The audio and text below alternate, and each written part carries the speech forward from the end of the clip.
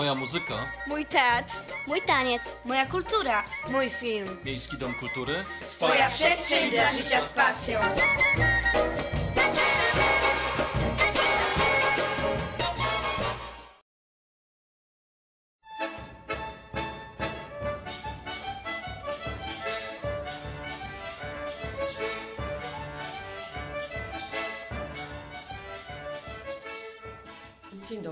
Pani Halina Rzeplińska jest instruktorem bardzo wymagającym.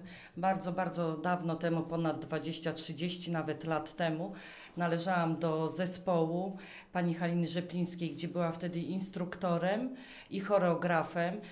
E, To moje wspomnienia są takie z 1 maja, e, gdzie zawsze na ulicy Chrobrego ustawiała akordeonistów i nas jako dzieci, młodzież, która później przed trybuną miała tańczyć, ustawiała nas e, w czwórki, e, brała nas za ramię, żebyśmy równiutko stali, zawsze z takim krzykiem, z wielkim przejęciem. E, Na ten dzień, dzień wcześniej też dawała nam stroje do domu, które były w kartonowych walizkach, gdzie zawsze miałyśmy chęć pobiegać w tych bucikach sobie po ulicy. Pani Halina zawsze krzyczała, że nie wolno, bo trzeba dbać o to. No i co jeszcze pamiętam? Pamiętam, o, jak chodziliśmy do, y, jak to, do ratusza i jak były pary, które miały na przykład 25 lat jubileuszowe swoje y, rocznice, y, to też występowaliśmy. To też musieliśmy być jako dzieci pięknie uśmiechnięte i co niektóre dziewczyny usta sobie malowałyśmy, żebyśmy ładnie wyglądały i były brawa. Pani Halina grała nam na organach. No ale, no ale wspomnienia są bardzo miłe, bo kobietą była zawsze energiczną, uśmiechniętą i krzykliwą. I cały czas jest. I cały czas jest, To gdzie jej to pomaga i nie, i wspomnienia każdy będzie miał pozytywne. W związku z tym 1 maja to trzeba będzie panią Rzeplińską zlustrować. Okej. Już? Już? No tak, to moja przygoda z panią Haliną Rzeplińską zaczynała się 15 lat temu, dokładnie w drugim semestrze ósmej klasy. E, zacząłem chodzić na grę na instrumentach klawiszowych, z czego później wymogiem było e, e, właśnie był ten taniec. E, no i zapoczątkowała się wtedy grupa od e, grupa, chyba to było pierwsze powstanie grupy dorosłej, która się utrzymuje praktycznie do dziś. E, Liczyło tam członków około 12, gdzie to właśnie było na ulicy Płockiej 22 przez 20. E, Później po jakimś czasie okazało się, że pani Halina e, jest moją ciocią. Świat jest No, mały. zostało tak do dziś. No i co chyba największe wspomnienie jakie jest, to te początki, jak zawiązywała się ta grupa dorosła, gdzie nie był nikt doświadczonym tancerzem, nie miał praktycznie pojęcia o tym tańcu. No i takim chyba przełomowym to był pierwszy występ, który ja pamiętam, odbył się w Bogurzynie na jakimś fest... w Bogurzynie na festynie. Nie pamiętam okazji, ale to był jeden z pierwszych właśnie wyjazdowych e, takich występów. No i co więcej powiedzieć? No, współpracuję z panią Haliną do dnia dzisiejszego. Mm, razem z panią Anitą pomagaliśmy tu w utworzeniu tej grupy dorosłej zespołu Mławiaków. No i pani Halina nas wspierała i wspiera do dnia dzisiejszego. Mój początek e, był tak samo jak Piotrka gdzieś 15 lat temu. Ogólnie e, do zespołu Mławieków chodziliśmy w sumie od pokoleń, począwszy od mojego dziadka, poprzez moją mamę, z którą tańczę do dzisiaj. E, Wcześniej tańczyłam z bratem, a moim największym chyba takim wspomnieniem jest pierwszy koncert taki jubileuszowy w sumie nasz, gdzie dzień wcześniej wróciłam, znaczy w dzień, w nocy przed koncertem wróciłam z wycieczki szkolnej, to była chyba szósta klasa podstawówki, zachrypnięta, ale byłam podekscytowana, że te stroje mama mi wybierała i w ogóle nie znałam swoich ustawień tak na dobrą sprawę, bo no, wycieczka trwała kilka dni. A próby trwały, ale brat mnie tam zawsze gdzieś tam pociągnął i myślę, że też okazało się, że jesteśmy rodziną z panią Haliną, ale od zawsze była wymagająca, dużo od nas oczekiwała. E, I myślę, że no, od, od małego, począwszy do tej pory, staramy się jak najlepiej i ona nas w tym wszystkim wspiera. No cóż, moi poprzednicy po- powiedzieli już prawie wszystko, więc ja nie wiem, jestem e, chyba z najdłużej e, tańczących osób, jeżeli chodzi o wiek dziecięcy, bo w tej chwili na zajęcia uczęszcza moja wnuczka, fakt, że jest najmłodsza, ma 3,5 roczku, na imię ma Ola. Staram się zaszczepić w, w nią to, co uwielbiałam ja. Myślę, że to się powiedzie, bo dziecko już zaczyna super śpiewać, także tańczyć myślę, że też nadąży. Ja mam wspomnienia ogólne, no wspaniałe. Ja to lubię, zachęcam innych. Uważam, że to jest w moim wieku, nie będę mówiła w jakim, jestem babcią. E, polecam, to jest odskocznia, to jest wspaniała rzecz, to jest coś innego niż pęd non-stop, non-stop. Zapraszam. Mławiacy i Zapraszamy nowych członków przede wszystkim do poznania pani Haliny osobiście. Okej. Mławiacy i mławiaczki o Dosłownie. Halinie Rzeplińskiej w czasie przerwy zajęć zespołu tanecznego Mławiacy. Dziękujemy.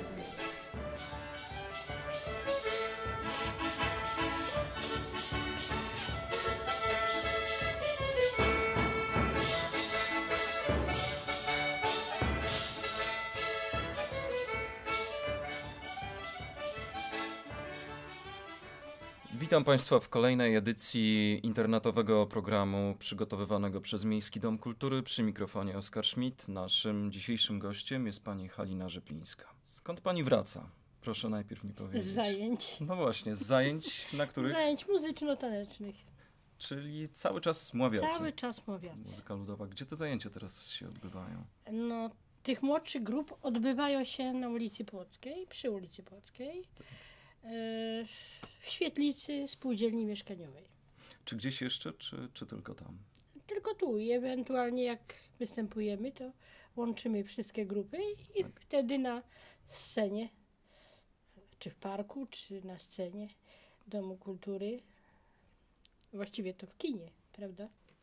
Y, Czy tutaj y, w Domu Kultury chyba też Mławiacy mają te, te swoje zajęcia? Mają mławiacy, najstarsza grupa taneczna. Tylko najstarsze. Tylko najstarsza grupa.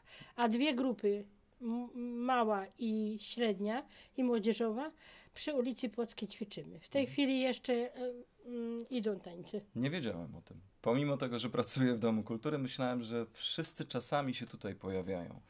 Nie. E, od razu na wejściu, jak to się mówi, e, wspomniała Pani o pewnym no, dokumencie już dla, bardzo ważnym dla, dla zespołu. No ważne. E, proszę powiedzieć, co to jest? To jest biografia zespołu od, od samego początku do 40-lecia właściwie istnienia zespołu. A od samego początku to znaczy... To znaczy od 1960 roku. Czy to był pierwszy zespół ludowy, jaki działał w Mławie? Mm, Pierwszy. Nic. Pierwszy. Tak. To znaczy przed tym w PSS-ach był dorosłych y, prac, z pracowników, był zespół y, pracowników i oni też tańczyli, ale potem mm, po y, wojnie jakoś tam nie mogli y, zlokalizować siebie, bo nie mieli lokum. Dopiero y, jak wybudowali y, blok y, i w nim parę sklepów i świetlicę dopiero spróbowali y, odnowić pracę, bo tam nie tylko była, był zespół, ale była biblioteka i, świetl- i mm, biblioteka i świetlica. I oprócz tego trzecia, trzecie pomieszczenie było dla zespołu. Ale te, te takie prapoczątki to okres przedwojenny? No tak, To- tak to, to- na, nam biografia pokazuje. Tak. I jest to chyba bardzo, bardzo ważny dokument dla Pani. I, No i, i dla mnie, i dla zespołu. zespołu. No, Właściwie to warto byłoby to opublikować jakoś, ale ponieważ Marylka w tym czasie zmarła, no to nie było komu tym się zająć. Tak mówi Pani Marylka, czyli Pani Miobęcka. która była wcześniej związana z zespołem. Bardzo związana z zespołem. Od samego początku żeśmy współpracowali. Mm, Biblioteka, świetlica i, i zespół. I po odejściu już w późniejszych latach mnie z zespołem pod skrzydła spółdzielni mieszkaniowej, ona też z nami współpracowała.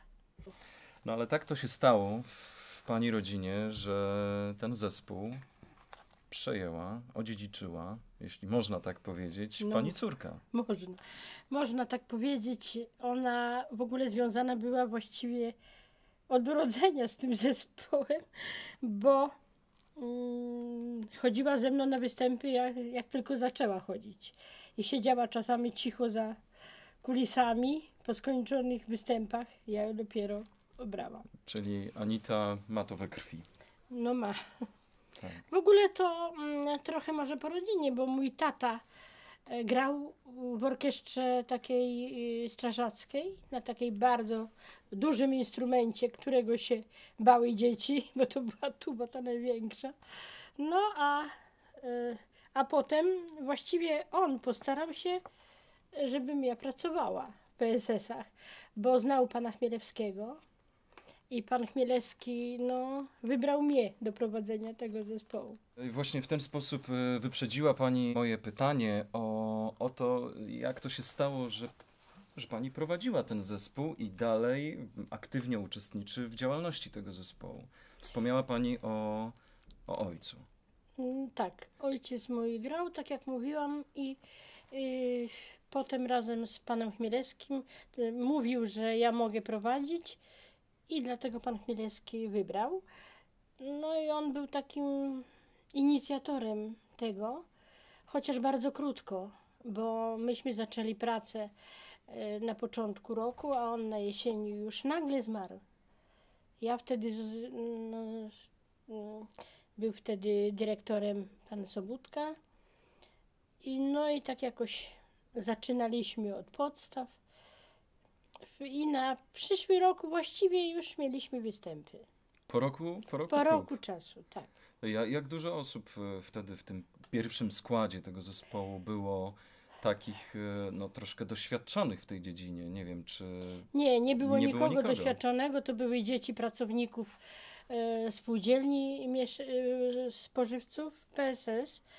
E, i, tylko dzieci. I takie jeszcze na przykład przyjeżdżające z Zamławy. Jak ktoś chciał się zapisać, to się zapisywał. Ale właśnie, bo mm, wiem, że czasami jest, e, no, są czasami problemy z, problemy z uzupełnieniem tych kadr w zespołach, prawda? Głównie chodzi o osoby starsze lub dorosłe. Bardzo często tak się zdarza. E, Czy, czy wtedy to, że ten zespół e, zaczynał od najmłodszych, te pierwsze składy, to wynikało z tego, że ci dorośli nie za bardzo chcieli tańczyć, czy... No nie, nie. Jako, y, y, to znaczy, jak oni przerwali tą e, swoją pracę tam w 50 chyba trzecim roku, tak już potem nie było dorosłej grupy, ale wtedy było z pracowników, to znaczy przed moim przejęciem zespołu. Wspomniałem o pani córce, która w tej chwili prowadzi zespół, Anicie Ciarcińskiej. Na czym polega teraz pani rola? Moja rola? Tak. Prowadzimy wspólnie te zajęcia e, dla tych młodszych grup. Ja najczęściej akompaniuję, bo jestem starsza, a ona prowadzi tańce, ale opieramy się na tych samych Ale wydawałoby się, że powinno być odwrotnie, że pani jako troszkę starsza osoba e, powinna być z tymi dorosłymi, bo z dzieciakami jest tak, wydaje się, że jest ciężej. Ja jak, mm, tak jak przez lata patrzę, to jednak ja byłam bardzo związana z dziećmi. Z dziećmi. Od najmłodszych, tych czterolatków wychodziliśmy. No i kończyło się tak do 15 lat. A potem już dzieciaki się rozsypywały. A później, no później było trochę starszych. Ale wszystko zawsze kończyło się na podstawowej szkole. U mnie w zespole. Natomiast Anita woli chyba pracować z dorosłymi. E, proszę mi zdradzić tajemnicę przed mikrofonem, jak pani to robi, że potrafi pani czterolatka e, no, tak zdyscyplinować i poprowadzić, nauczyć, że on jest w stanie zatańczyć przed, zatańczyć przed publicznością. Jak to się robi? Zaczynamy od pląsów, od zwykłych kroczków, od marszów, i potem dzieciaki się tak wdrażają.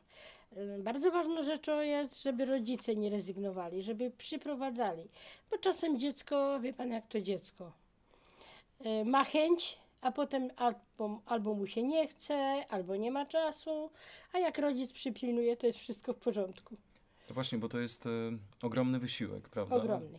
To są amatorzy, Tak, to jest amatorski zespół. o czym ja zawsze, kiedy robimy jakąkolwiek audycję związaną z zespołem, e, zawsze wspominam, bo zależy mi na tym, żeby słuchacze, e, potencjalni słuchacze tych audycji czy programów, no, uświadamiali sobie to, uświadomili sobie to, że to są tylko amatorzy. Ile, ile czasu mm, tygodniowo, pani zdaniem, statystyczny tancerz, śpiewak musi spędzić na takich próbach, żeby po roku, a może po dwóch latach wystąpić z całym programem?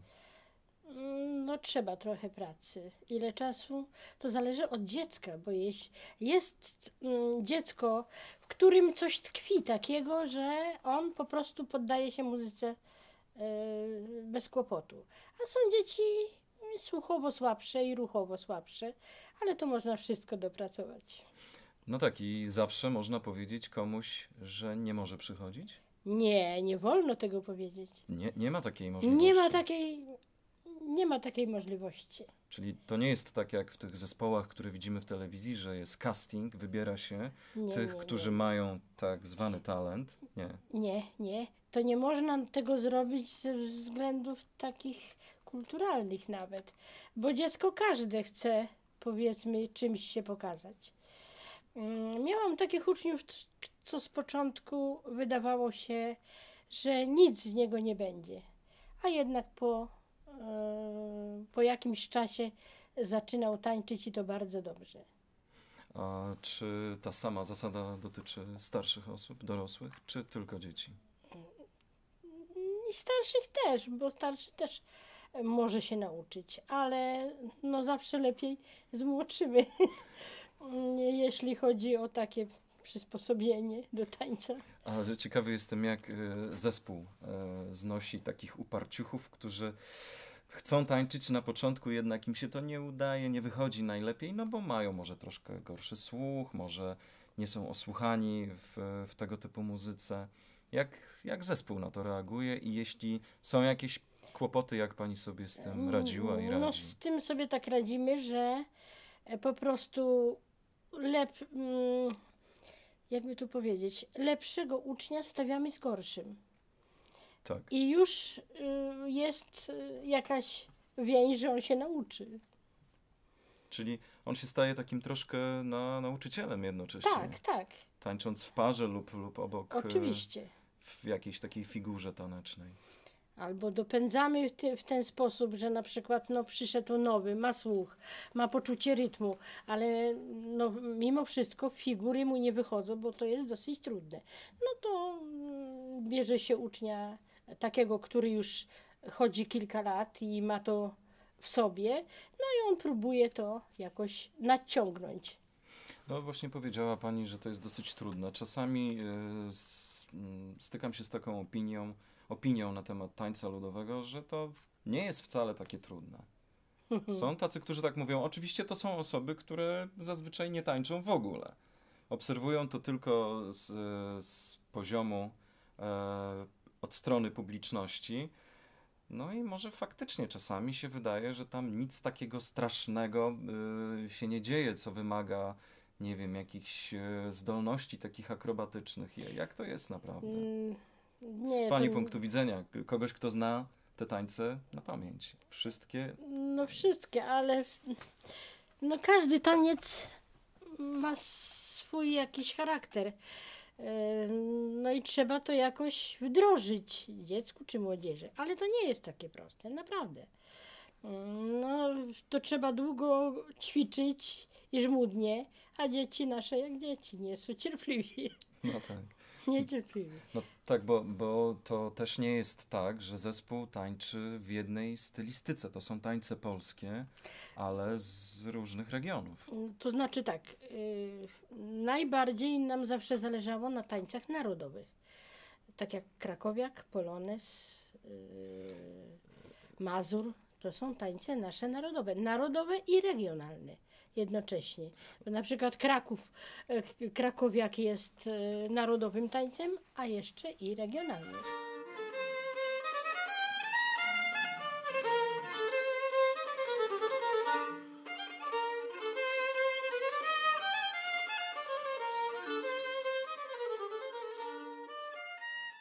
Czy jest Pani w stanie zrobić taką statystykę, e, ilu tancerzy, śpiewaków, uczniów, jak Pani ich określiła, przewinęło się, może to nieładne określenie, ale przez Pani rękę, przez Pani ręce? O, ojej, nie, Jak- chyba nie.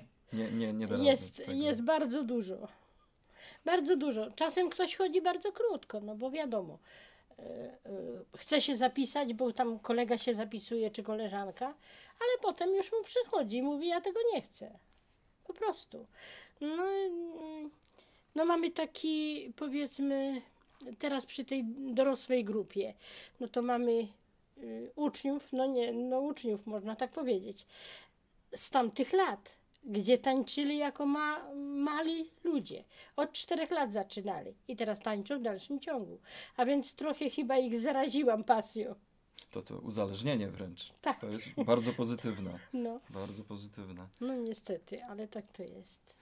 E, Zetknąłem się tutaj w naszej bibliotece z takimi materiałami, z których być może pani korzystała e, z lat 50., 60., no pewnie z lat 70., które przypominają dzisiejsze e, kserówki e, wydane w taki, no, w taki sposób, jak to się kiedyś robiło, prawda? Są tam linie melodyczne piosenek tych ludowych, tańców ludowych.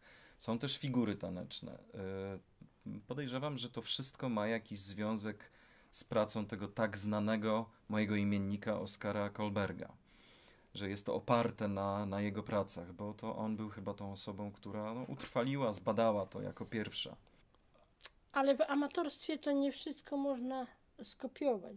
Trzeba się poddać, powiedzmy, temu, co można zrobić. Tak, ale e, e, przepraszam, że przerywam.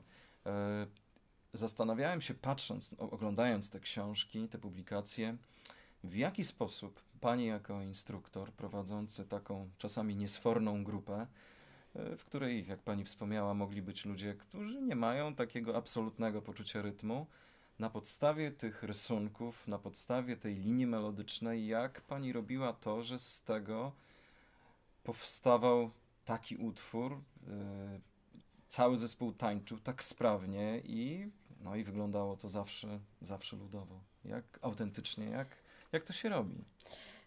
No, choreografię to trzeba jakoś mieć chyba w sobie. Nie wszystko da się skopiować, nie wszystko da się podpatrzeć. Po prostu jak ja układałam taniec, robiłam to na żywo. Przy- Przychodziło mi to jakoś, przychodziło mi to samo. E, Takie, to dla mnie dzieci to były takie kwiatki. Ja je sobie ustawiałam, żeby zrobić jakiś układ taneczny. Oczywiście on musiał mieć charakter tańca e, takiego, jakiego uczyłam.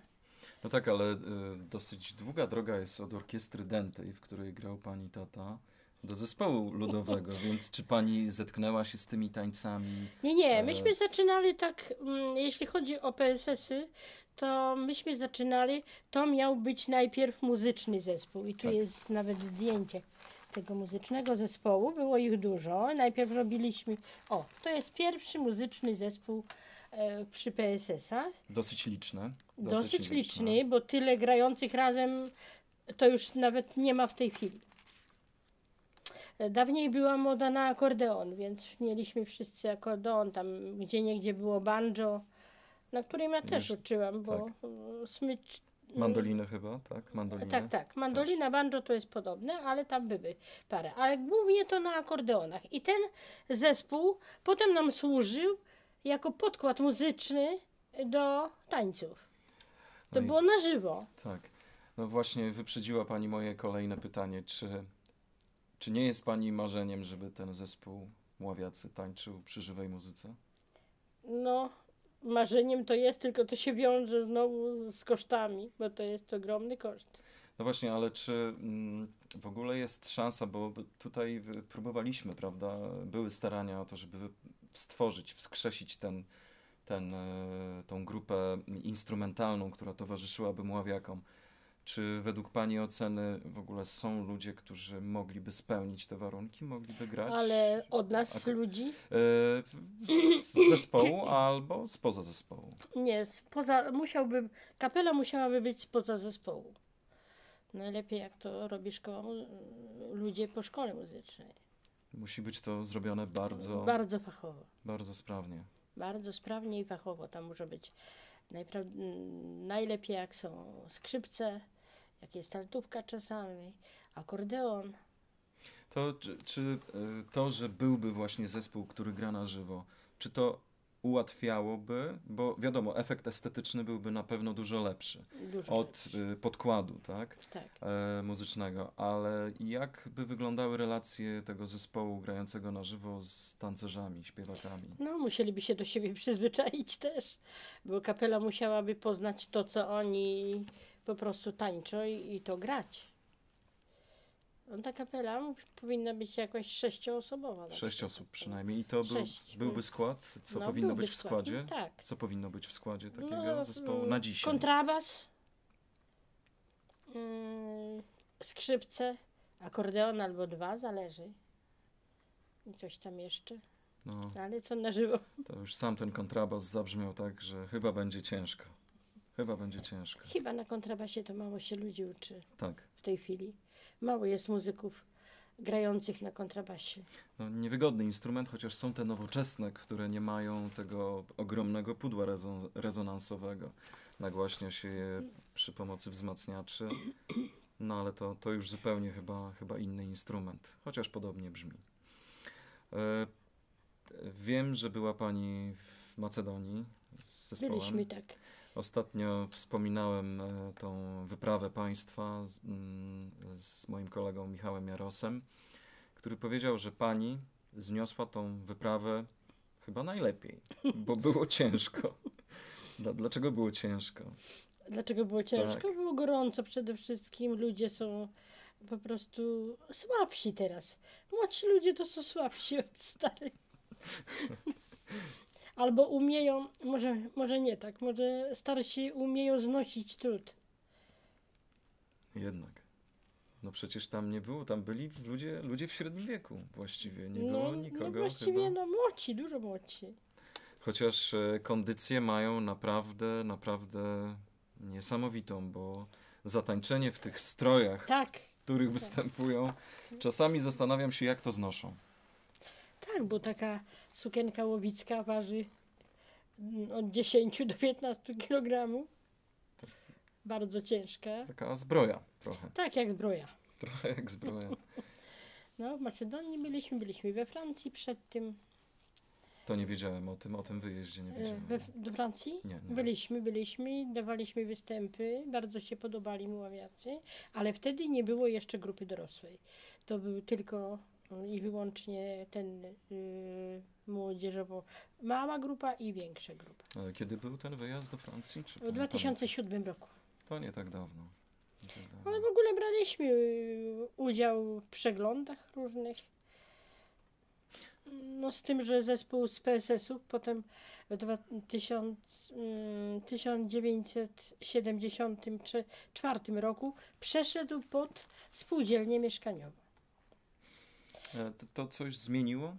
Słucham? Czy, czy te zmiany, y, jeśli chodzi o... mm, Nie, nie, to było to samo, z tym, że Tak. e, zawsze tam zakład pracy jakieś tam reorganizacje przechodzi. E, Jak tam się coś nie wydarzy, to najlepiej by zlikwidować zespół, bo to najmniej by to kosztuje. Czyli chyba to miejsce, które jest teraz, e, jestem pracownikiem Domu Kultury, ale jest najlepsze. Tak, To- bo tu powinna się odbywać od razu kultura. Ten zespół Tak. właściwie to powinien zaistnieć przy Domu Kultury. Przy zakładach pracy to to nie ma trochę rąk i nóg, bo e, x lat jest dobrze, a potem raptem No tak, bo jest to uzależnione od egzystencji działalności zakładu. Oczywiście. A, a jak to się często zdarza, te zakłady są w tej chwili no, zamykane. pozamykane. prostu. Albo nie mają na to pieniędzy na kulturę, albo komuś tam nie pasuje ta kultura. No właśnie, to powiedziała Pani, że nie pasuje. T- Są takie głosy też w społeczeństwie, że właściwie, właściwie, dlaczego? Jest muzyka nowoczesna, e, po co to robić? Po co tańczyć muzykę ludową? No ja wiem, że tak, zadanie e, takiego pytania Pani e, jest trochę nie na miejscu, ale Ale co pani odpowiedziałaby ludziom, którzy mówią, no po co? Poza tym nie robicie tego tak jak Mazowsze na przykład, tak? Co, co można powiedzieć takim krytykom? No, no można ich zachęcić do tego, ale wie pan co, ja się w ogóle spotkałam, że dzieci, nasza młodzież, nasze dzieci nie znają nawet strojów. Jeśli by się spytało kogoś na ulicy, jak wygląda strój krakowski, to jestem przekonana, że niestety, ale nie wiedzą. A wręcz nawet e, niektórzy mówią, że wstydziliby się w to ubrać. I może nawet dlatego powinno się krzewić tą naszą kulturę od dawna. Przede wszystkim powinno się zacząć od przedszkoli. Nie tańca towarzyskiego w przedszkolach uczyć, tylko tańca ludowego. No przecież jeśli ktoś umie tańczyć tańce ludowe, na pewno będzie mu łatwiej zatańczyć każdy inny taniec, Tak, zorganizować oczywiście. się. Yy, na takich potańcówkach, jak robią, e, to zatańczą, bo przecież w tańcu ludowym tkwi i walc, i polones, i mazur, wszystko. No ale tak dużo mówi się o patriotyzmie. y, No chyba przekazywanie tej tradycji muzycznej, tanecznej, w ogóle kulturalnej, to jest, to jest patriotyzm też. Też, To, to dlaczego jest właśnie tak, tak jak pani mówi? no nie wiem, bo, bo chyba mm, trochę zapomnieliśmy o tym. I tak naprawdę to przechodzi się koło tego obok. Ale y, z drugiej strony zespoły takie, mm, które w tej chwili są bardzo popularne i na pewno pani widziała wykonania ludowych lub e, stylizowanych na muzykę ludową e, utworów. E, to są takie zespoły jak Bratanki, Kapela ze, Kapela ze wsi Warszawa chyba. Jak pani się odnosi do adaptowania muzyki ludowej do takiego składu, którym są gitary elektryczne, perkusja, no i ta muzyka w dużym stopniu zmienia swój charakter. E, Czy to wypełnia w jakimś stopniu tą, tą rolę, którą wypełniają może- takie zespoły no może czasy się zmieniły, bo zmieniło się dużo. Może młodzież tęskni za taką muzyką, no może, może to nie jest złe. No ale ludowości to to bardzo nie oddaje. No jednak nie. Nie. Jednak nie. E, wspomniała Pani, zapytałem o tę dwie- o, o wizytę w Macedonii, wspomniała Pani o wizycie we Francji. E, czy to były długie wizyty? No tak kilka dni. Kilka dni. Mm. E, I na podstawie, no bo na pewno zespół i Pani byliście wtedy na imprezach związanych z tańcem ludowym, z kulturą. No, Czy było to. jak, jak Pani ocenia w, właśnie w tych krajach, tych częściach świata, jak oni podchodzą Ale do... w częściach świata y, te, które się pokazały zespoły, bo tam były różne zespoły Tak. rosyjskie, no zawsze stroje są piękne, obojętnie czy to naszego y, polskiego folkloru, czy to innego. Z Macedonii też występowali, były specjalne stroje. Wszystkim się też podobało. Ale, y, To znaczy tak, sercem jestem przy naszych. tak, no tak. A, ale czy, czy y, uważa Pani, że u nich, y, w tych innych kulturach, w innych krajach, też ten taniec ludowy jest troszeczkę tak zepchnięty? Chyba nie. Jednak chyba nie. Chyba nie. Czy to dotyczy i Bałkanów, i Francji? Y, tak, tak. Jednak. Tak. A na jakiej podstawie uważa Pani, że oni mają do tego inne, no chyba trochę lepsze podejście? Chyba lepsze. Tam, mm, jak patrzyłam na zespoły, to wykonywali naprawdę perfekcyjnie swoje tańce ludowe. Oni to pielęgnują po prostu. Y, I to amatorskie zespoły. No, amatorskie, amatorskie. bo tam innych nie było. Jak to się dzieje, że... U nas Mława trochę, trochę jest trudnym miastem. Ludzie tutaj nie, nie zwracają uwagi na, na tańce ludowe. Było chyba tak od zarania. I właśnie no, cieszyłam się nawet, że przez lata mogłam prowadzić i że chociaż kawałek tej ludowości zostanie u nas. No a już teraz jak przejęła córka ten zespół, to już no mam nadzieję, że to nie zginie. No i tutaj to, to przechodzenie takie z babci na córkę, na wnuczkę, to jest chyba też, też ważny. Ale trochę ważny wychowaliśmy dzie- Nowych, nowych. nowych, bo mm, Piotr Jankowski, on się tutaj udziela w tym zespole Mławiacy w dalszym ciągu, jego bracia, ale w ogóle on już zrobił instruktora Muzyki, tańca. e, tańca ludowego i przy okazji e, częściowo chyba innego. Ale ma instruktora i prowadzi lekcje, także no trochę zostanie. E, Była uczennica, która wyjechała potem mm, do baletu, Danka Grzegorowska taka, która w Austrii ma swoją szkołę baletową. E, Brzonka Łówna tak się zapisała w pamięci, tam też mm, tworzyła jakieś, tylko nie mogłam z nią nawiązać kontaktu, nikt nie wiedział gdzie jest, e, jak było 40-lecie. No tak, ale nawet dla obserwu- jak obserwuję mławiaków przed koncertami, po koncertach, w trakcie albo w innych sytuacjach, to nawet jeśli ci ludzie nie robią żadnej kariery związanej z tańcem czy, czy z kulturą, to tworzą coś w rodzaju rodziny. To jest tak zżyta ze sobą tak, grupa ludzi. To chyba jest ludzi. potrzebne, prawda? Potrzebne, żeby żeby taki potrzebne. zespół. W dzisiejszych czasach to chyba najpotrzebniejsze, żeby to była jakaś więź między ludźmi. A wracając jeszcze do tych tańców e, ludowych, zaryzykuję takie pytanie. Czy pani ze swoim doświadczeniem ogromnym i wiedzą na temat tańców ludowych e, podjęłaby się, no to hipotetyczna, tak, jest e, sytuacja przygotowania mławiaków w jakimś tańcu nie pochodzącym zupełnie z Polski? E, Wie pan, to już nie ma takiego wielkiego znaczenia. Jak Tak. zespół tańczy, to się podda następnym ruchom i, i układom, nawet e, spoza naszej kultury.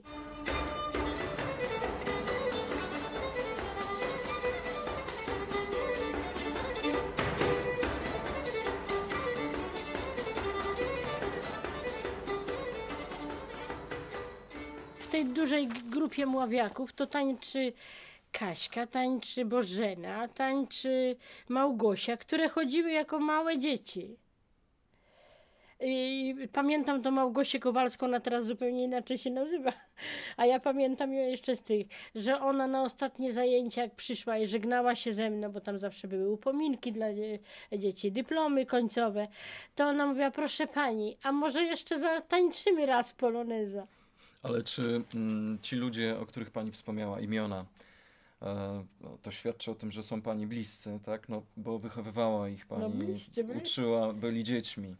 To czy e, mieli przerwę, czy byli cały czas? Nie, nie, nie, mieli przerwę i to ogromną, bo jak odeszła mając 15 lat, a zgłosiła się do zespołu jak ma 50, No tak. no to O rany. przerwa. O rany. A czy e, ta, mm, ten bodziec, ta inspiracja do tego, żeby tańczyć, żeby przychodzić na próby, e, jest zawsze taki sam, czy to się troszeczkę zmieniło? Czy Myślę, że taki sam. Jak ktoś lubi to, to będzie przychodził. Czasem mu nie, wy, nie wychodzi tam, czy z, ze względu na sprawy osobiste, no to najwyżej opuści zajęcia, ale tak to bodziec chyba jest jednakowy. A, mm, wspomniałem wcześniej o tych starych e, wydawnictwach, które no, były podręcznikami dla instruktorów przygotowujących zespoły e, ludowe. Mm, Czy zdarzyło się Pani korzystać z tych nowoczesnych mediów, z internetu w Nie, internetu nie, bo ja już jestem stara, internetu nie mam w ogóle u siebie. Nie, nie, nie korzystała Nie, pani. nie korzystałam. Ale czy orientuje się Pani, czy to jest e, pomocne w tej chwili? Czy to No jest... na pewno, na pewno. Internet dużo dobrego wprowadza. Można się dowiedzieć wiele rzeczy. Można sobie tworzyć jakieś tańce i zobaczyć, ale ja nie korzystałam z tych rzeczy. No Raczej z początku to opieraliśmy się na pląsach, na, na zabawach dziecięcych, bo ja jeszcze i rytmiki w przedszkolach prowadziłam. E, w- Potem to przerosło właśnie, m, przerodziło się w taniec ludowy i tak już zostało. E, Jak sobie mm, radzi instruktor, który prowadzi zajęcia no, przez tyle lat, tak jak pani? Przychodzi taki moment y, no, zmęczenia, znudzenia? Czy przychodzi taki moment? Co, co wtedy? No na pewno przychodzi, z latami to przychodzi, ale jeśli się to kocha, to pokona się takie, takie powiedzmy nie, jakieś tam niedyspozycje. E, Wspomnieliśmy też o, o strojach. E, Z czym jest największy problem, jeśli chodzi o stroje? Bo no wydaje się, że można kupić w tej chwili każdy materiał, e, ale jednak chyba te stroje ciągle. No stroje dla zespołu są bardzo ważne, bo jeżeli chodzi o e, charakter tańca, to każdy charakter tańca podkreśla strój. I jeśli to będzie krakowiak, a go zatańczymy e, w stroju łowickim, to absolutnie to nie wyjdzie, bo to nie pasuje nawet. A czy zdarzało się czasami, że jednak tancerze wykonują inny taniec? No muszą czasami ze względu, że, że nie ma tych strojów, ale najważniejsza sprawa, jeśli chodzi o występy, to muszą być stroje prawdziwe. No tak, nie można ich sprowadzić z Chin. Nie, z Chin nie, nie, Nie, da, da, nie da rady. Nie da rady, nie. Czyli Nasze trzeba. muszą być albo uszyte przez kogoś dolnego, albo... No ja własnoręcznie też szyłam sukienkę łowicką, bo była taka potrzeba. Myśmy z początku to w ogóle szyli dla dzieci z rodzicami. Zostawali po nocach ze mną. Mm, Szyliśmy spódnice, bluzki na pierwszy występ. To całe noce były zerwane. Jaki jest koszt takiego stroju? Takiego stroju. Takie, żeby ubrać albo Oj. może wyposażyć e, tancerza, tancerkę, bo pewnie tancerki strój jest droższy. Tancerki jest droższe. Na przykład łowickie to kosztuje do 15 tysięcy chyba. E, dla jednej. dla kobiety. Buty, to musi być sukienka, fartuch, bluzka odpowiednio haftowana, także są naprawdę drogie. A myśmy zawsze używali sposobu, żeby to jakoś wyjść na taniej, a żeby to było tak samo piękne. Ale były i oryginalne. W Cepeli zamawialiśmy, jak y, tam mieli trochę pieniędzy w zarządzie i dali, to Czyli, czyli ubranie całego zespołu i, spory koszt. i przygotowanie, y, kupienie strojów do wszystkich tańców. Czy mławiacy mogą sobie na to pozwolić? Czy to jest wykonalne? koszt. Część mamy. Część jest. Część mamy, bo stroje jeszcze są z tamtych lat, gdzie w PSS-ach e, kupowaliśmy. Czy nowe jakieś ostatnio były kupowane? Nowe były kupowane. Dla dorosłej grupy stroje były zakupione y, w, Czczewie. Myśmy odkupywali te stroje. Ale to już tutaj... W Domu Kultury. W Domu Kultury. To znaczy sukcesywnie, jak zespół istniał przy spółdzielni mieszkaniowej, zresztą i przy PSS-ach, bo korzenie miał w PSS-ach, to żeśmy yy, sukcesywnie kupywali. Najpierw krakowskie stroje były zakupione, potem łowickie małe, potem łowickie większe. No i na tym się tak opieraliśmy. A nad czym y, zespół teraz pracuje? Nad programami. Nad programami. Nad programami. Ale czy powtarza to, co wszystko już jest, e, co mogliśmy oglądać? Część powtarzamy, dlatego że chyba w jubileuszu będzie potrzebny mm, część tych starych, dawno zrobionych utworach i część nowych. To tak zawsze jest. A. Że do starego dokłada się nowy Tak. i jest dobrze. E, nie wiem, czy tak jest, ale no każdy, kto słucha muzyki, zajmuje się muzyką czy tańcem, mam wrażenie, że ma e, utwory lub tańce, które woli bardziej i takie, które go nudzą, a wręcz drażnią. Które z tych tańców przygotowywanych przez panią i przez zespół pani najbardziej lubi, a które mm, jak zbliża się czas ćwiczenia tego tańca, to pani sobie myśli, Boże. Nie, nie, nie ma Nie ma- nie ma czegoś myśli. takiego? Nie ma czegoś takiego. Czyli wszystko, tak? Pani to, to Wszystko, traktuje... jeśli już program robimy, to musi być to dopracowane. A no trudnościach to nie, nie, dra, nie drażnią mnie takie rzeczy. E, no, Tylko nad trudniejszym utworem trzeba więcej popracować po prostu z zespołem. Tak. I jest dobrze, jak przychodzą wszyscy. A właśnie, jak jest z frekwencją? Niech młowiacy usłyszą. Czy pani ich pochwali, czy... No to najstarszą grupę to na pewno, tak. Tak. A dzieci jak dzieci, to zależy bardzo dużo od rodziców. Od No tak. rodziców. Z, zespół bardzo często występuje. Czy tak było zawsze? Było jest- zawsze, może nawet więcej było tych występów, bo jak przy PSS-ach mieliśmy i potem przy spółdzielni mieszkaniowej z początku, to prosiły zakłady pracy, bo to były modne choinki wtedy, dla dzieci y, robiliśmy występy. Teraz takich poważniejszych chyba występów jest dużo więcej. No to jest No tańczyliśmy przed trybuną co roku przez x lat. e, przed Trybuną Pierwszomajową. Tak, Tu przed mamy, trybuną mamy zdjęcia też, pierwszomajowo. Tak. E, Teraz chyba przed zespołem szykuje się jakiś taki bardzo ważny występ, e, bardzo ważny w sensie, no przed ludźmi, którzy tańca ludowego polskiego to chyba tak nie, raczej nie znają za bardzo. Czy Aha. mogłaby Pani wspomnieć o... E, To chyba będzie dla, dla LG? Tak, dla LG, tak? To No, no może nie znają, ale chyba chętnie przychodzą na te występy. są... Może im się coś w tych naszych tańcach podoba. Czy w wolnych chwilach Pani też się zajmuje tańcem ludowym? W jakiś sposób? Czy co jest Pani pasją? Oprócz tańca ludowego. No już teraz to ogródek przydomowy. mm, Kwiaty. kwiaty. Rozpoczyna się wiosna, więc pewnie No trzeba Już- pracować ogromnie. No ale to jest to, to zajęcie, które pozwala utrzymywać e, dobrą kondycję. No chyba tak. A poza tym no trochę się relaksuje w tym człowiek, bo jak wyjdzie się na świeże powietrze tak bardzo rano, to można posłuchać śpiewu ptaków przy okazji. Czyli o której godzinie? O, ja czasami o czwartej potrafię wyjść do ogrodu. Ojej, to ja wtedy tak mocno, mocno śpię. Zawsze planuję, że wstanę wcześniej rano i będę robił różne rzeczy, ale zawsze się kończy tak, że, że, że śpię mm, dosyć długo. No właśnie, ja ten śpiew ptaku zastanaw- z ptaków e, często zastanawiam się, mm, skąd u tych twórców ludowych, którzy często no, nie, mieli, nie mieli chyba żadnego wykształcenia muzycznego. Nie, na pewno nie. E, Skąd brała się ta inspiracja do tego? Jak, jak powstawały te melodie? Jak...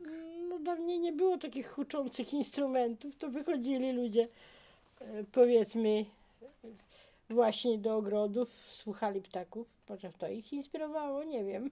Pewnie tak. Ma pani jakiegoś takiego swojego ulubionego śpiewaka? No, skowronek. Skowronek jednak.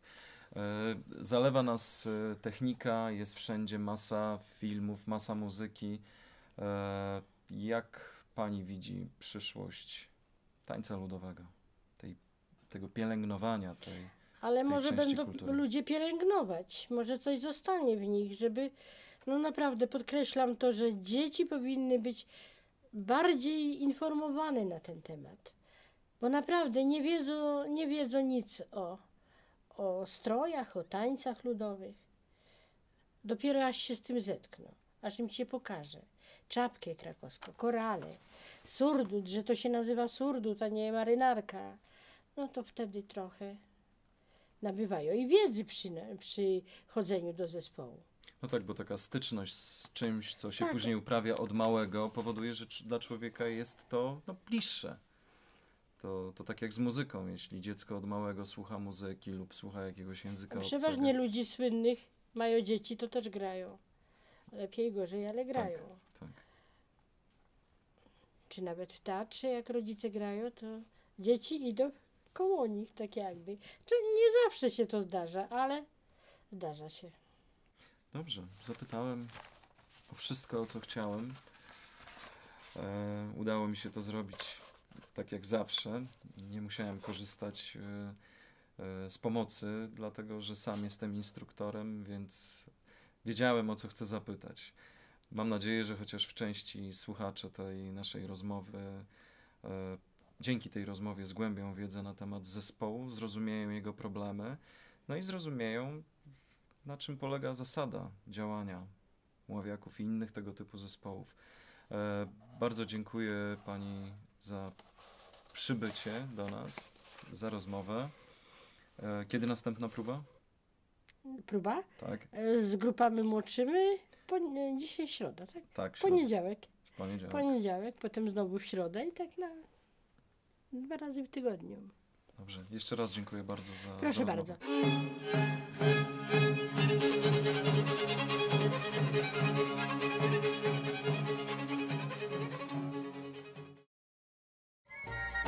Moja muzyka. Mój teatr. Mój taniec. Moja kultura, mój film. Miejski Dom Kultury. Twoja przestrzeń dla życia z pasją.